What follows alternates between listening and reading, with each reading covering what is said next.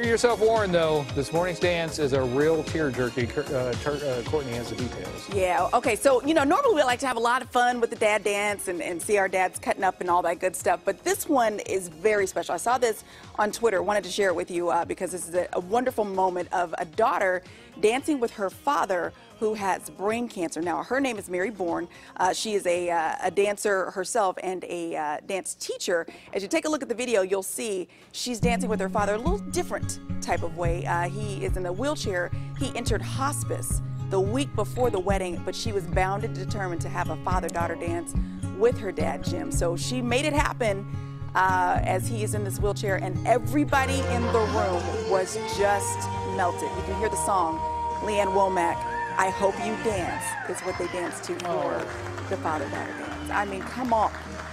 You can see Jim there gets very emotional oh. as he still gets to do his father-daughter dance with his baby girl, who of course was a beautiful, beautiful bride. Isn't this great? It is fantastic. Oh my gosh, this is fantastic.